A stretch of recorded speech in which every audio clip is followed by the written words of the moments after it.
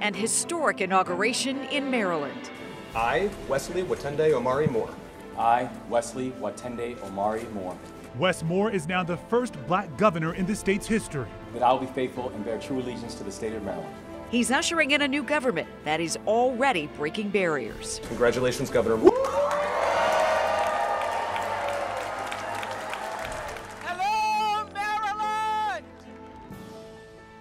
Love that moment. Oprah ringing in an historic day in Maryland. Thank you for joining us tonight. I'm Leslie Foster. And I'm Lorenzo Hall. Take a look at these photos with us now. They capture the moment Governor Moore and his family stepped into the governor's mansion, their home for the next four years. Thousands of people turned out today in front of the State House in Annapolis. They all wanted to see history being made. Yeah, you know, when history's made, you know this team is going to be all over it. Our Scott Broom is live in Annapolis talking to people in the crowd.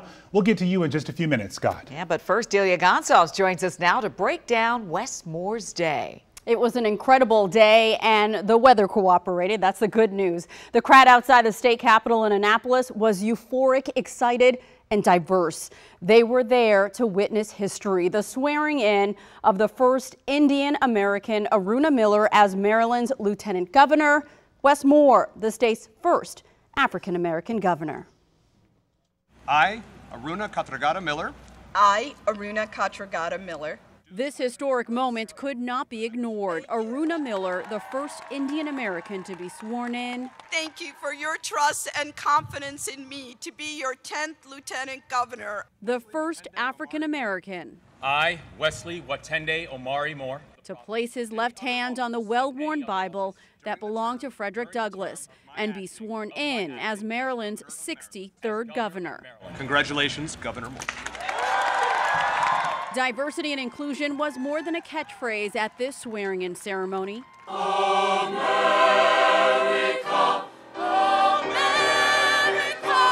It was palpable from participation from family. I pledge allegiance to the flag. My mom doesn't only welcome opportunities, she welcomes challenges.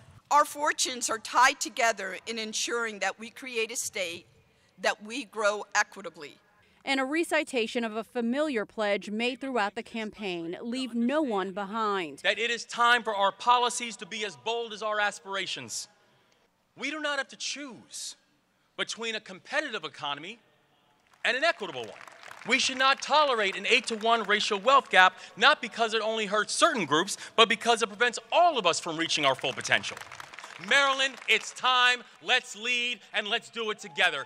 God bless you all and thank you so much.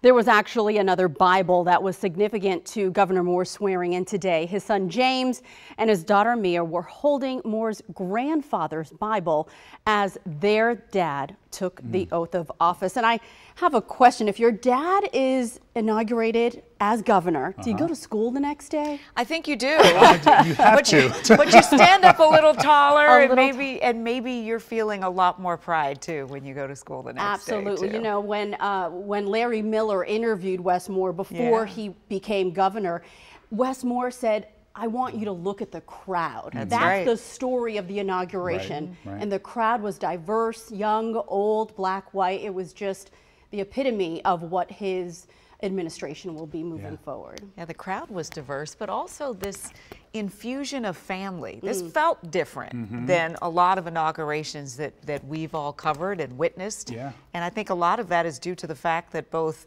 Governor Moore mm -hmm. and Lieutenant Governor Miller incorporated their families in significant their, ways. Their children certainly stole yeah. the show. You could tell they were so proud. yeah. But they should be. Thank All you, right, Dee. Thanks, Dee.